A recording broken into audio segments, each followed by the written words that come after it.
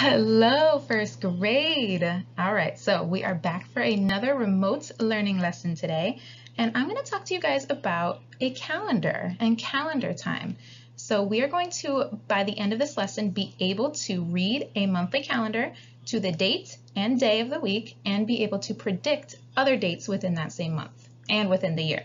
So we are going to get ready for this lesson by pretending that we are back in school. So you're going to pretend you're in a classroom for a second, go over a couple little expectations for you guys. I want you to be able to sit up straight wherever you're sitting, could be your couch, kitchen, bedroom, wherever you're at, make sure you're sitting up straight.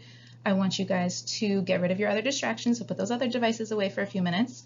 And I want you to be able to watch the screen very carefully and listen very carefully. All right, so now I think we are ready to move on and start learning about a calendar. Ready? Alright, so I want to go over some vocabulary words that you guys are going to see throughout this lesson because I don't want you guys to be overwhelmed by these words. We're just going to go over them one at a time to make sure you know what these are before we start breaking them apart. So a calendar. A calendar is a chart showing days and weeks of the month in a certain year. So we're going to be talking about the year 2020 because that's the year we're in right now. So a calendar is a chart showing days and weeks in that month for a certain year. A week. A week is a period of seven days, and there are usually about four weeks in a month. Sometimes that gets a little tricky, but usually about four weeks in a month. A month is a period of 28 to 31 days, depending on which month. Some are a little bit longer than others, but it can be anywhere from 28 to 31 days, and there are 12 named months in a year.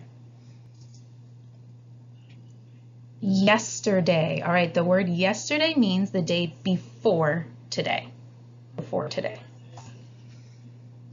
So the word today is this day right now. The day that you're in, this very moment, this day is today. And then tomorrow is the day after today. All right, you guys got those words? Because you're going to hear them a lot through this lesson.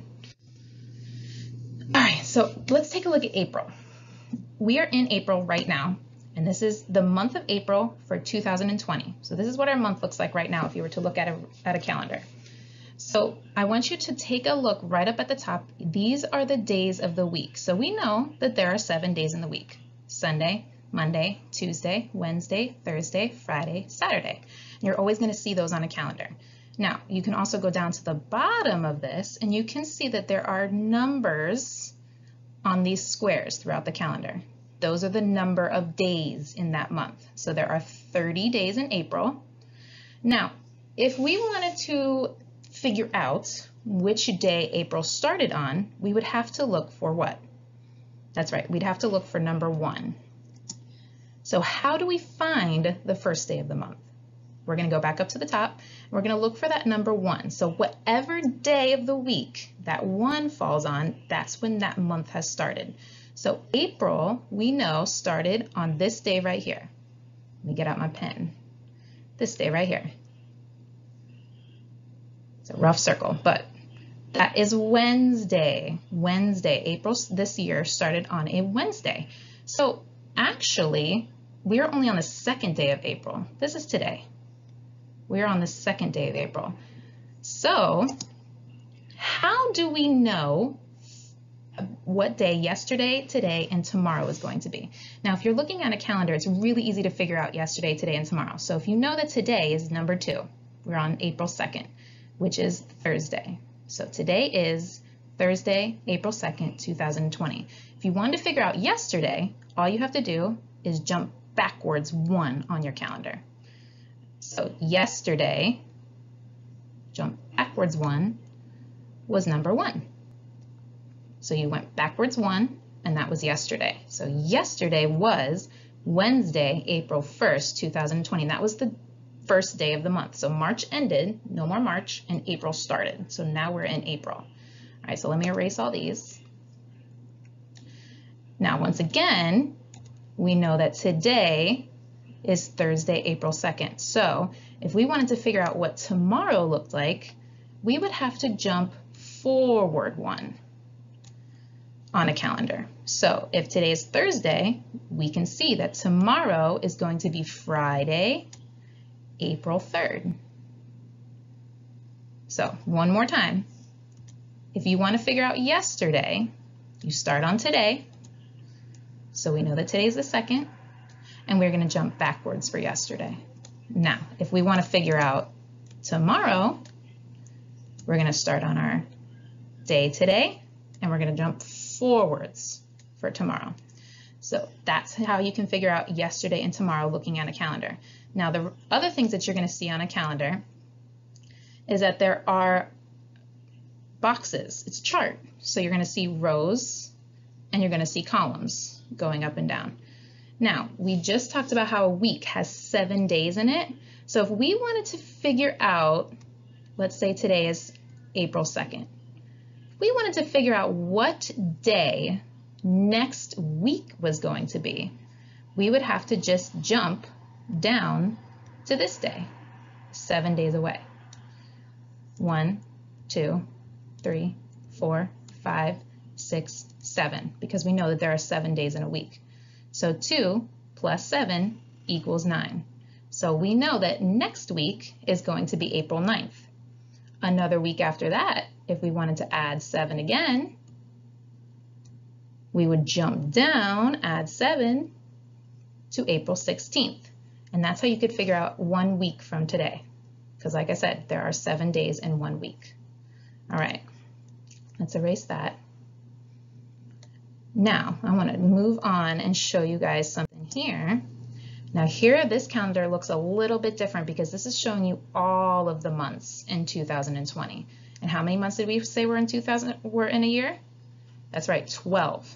January, February, March, April, May, June, July, August, September, October, November, December. Those are the same 12 months that happen every single year. So right now we said that we are in April. This is our month right now. So if we wanted to figure out what next month would be, where would we look? That's right, we would jump forward. We'd go over here. So the next month is going to be May. What was the month before this one? That's right, March. March was the month before April. So if you're looking at a calendar for the whole year, you'd be able to see each of those months all together. Now, how many months make a year? Okay, we just answered that. That's 12. There are 12 months in a year. 1, 2, 3, 4, 5, 6, 7, 8, 9, 10, 11, 12. 12 months in a year. What day of the week will June 6th be? Okay, so this is what we're going to do. We're going to go to June 1st. June. And there's the number one. So you know that June is going to start on a Monday right there. This question is asking when June 6th is going to be. So we're going to find the number 6 under June.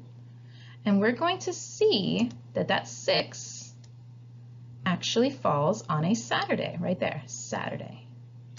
And there's your 6. So June 6th is going to be a Saturday this year. So it's pretty cool that you can kind of predict the future and you can see what days of the week certain days will be. All right, now I want you to find what day of the month your birthday is going to be on this year. So Ms. Varnum's birthday is on April 6th.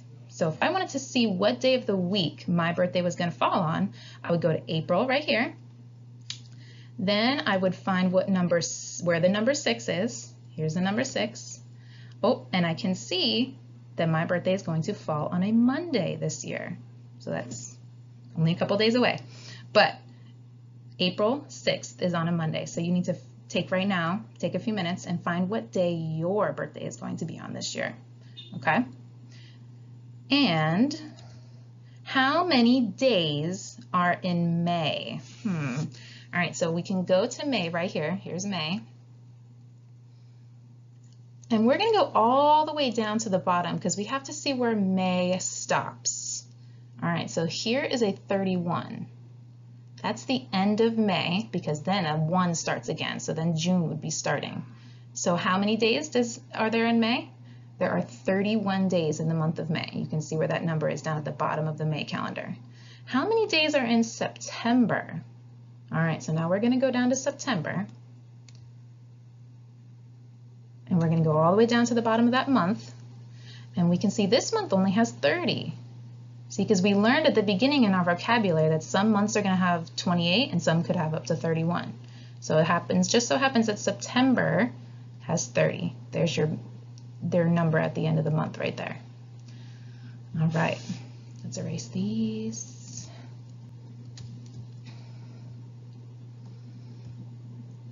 Okay, so that is the basics of reading a calendar, guys. So we're going to move here. Let's go back and go over real quick what we learned today. All right, so a calendar is a chart that organizes days and weeks of each month. Yesterday, that word yesterday, is the day before today, this current day, the day that you're in right now. Yesterday is the day before that, so on a calendar you would jump backwards one to figure out what yesterday was. And tomorrow is the day after today. So if you were figuring it out on a calendar, you would jump forward one time to figure out tomorrow. All right, there's our months of the year, January, February, March, April, May, June, July, August, September, October, November, December are the 12 months that make up every single year. A week has seven days. So you're always going to see those seven days at the top of your calendar so you can figure out what day of the week certain dates are. A week has seven days, Sunday, Monday, Tuesday, Wednesday, Thursday, Friday, Saturday, seven days. And the day that has a number one on it is the first day of that month. So every time you look at a calendar, find where the number one is, and you can figure out what day of the week the beginning of that month falls on. All right, this is a link to a really good BrainPop. I don't know if it'll let me open it right now.